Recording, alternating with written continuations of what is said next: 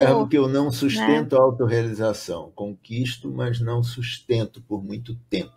Né? Sempre retorno ao início, novamente.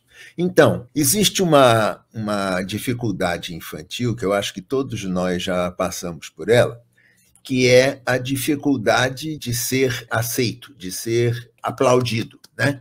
Ou seja, a, a criança, ela quando ela está por volta dos dois anos, que eu chamo dos terríveis três anos, né? que quando ela, ela está na, na parte onde a, a, os, a mãe, né? o pai, é, a família próxima, ela serve de balizamento para a percepção infantil de que mundo é aquele onde ela está inserida. Porque, na verdade, nesse aspecto é a mesma coisa.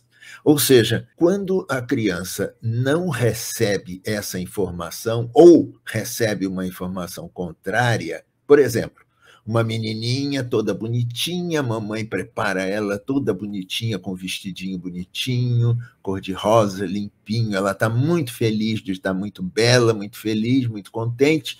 E aí ela vai brincar no jardim. E no, bar, no jardim ela descobre que tem um osso é que foi escondido pelo cachorrinho dela, e, e, ela então começa a cavar aquele osso e toda feliz, contente, dizendo: Mãe, mãe, mãe, olha só o que, que eu achei. Eu achei o osso do, do Totó, e, e ela veio oferecendo aquilo à mamãe como se fosse um troféu, uma, uma qualidade, uma capacidade nova que ela desenvolveu.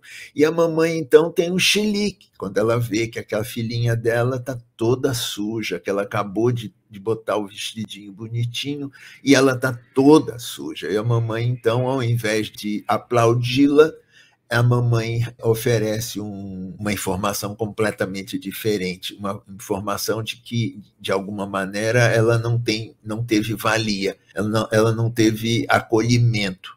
Então, essa sensação de acolhimento faz com que a criança se torne insegura no, no aspecto de ir para a vida, no aspecto de se voluntariar a fazer o que ela de, é, acha, intui que deve ser feito.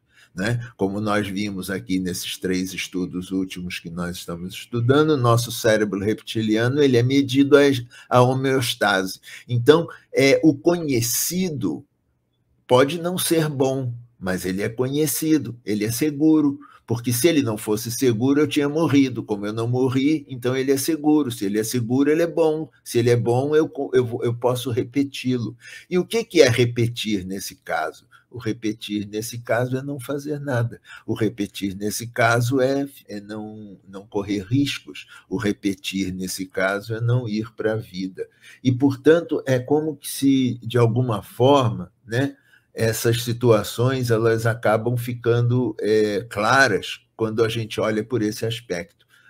Como eu não sei da tua história de vida, eu apenas é, gostaria que você olhasse esse aspecto da tua vida em relação a essa minha proposta. Ou seja, o que, que aconteceu que fez com que, de alguma maneira, o que eu fizesse, o que me fizesse ir para a vida, me causasse uma sensação contrária do prazer que eu gostaria de receber ao ir para a vida, ao dizer o que eu queria dizer, ao, ao fazer o que eu gostaria de fazer, ao brincar do jeito que eu queria brincar. Então, tudo isso você precisa olhar para ver quais são as emoções envolvidas no processo, né? Porque emoção é energia em movimento e, portanto, perceber de que essa emoção ficou presa.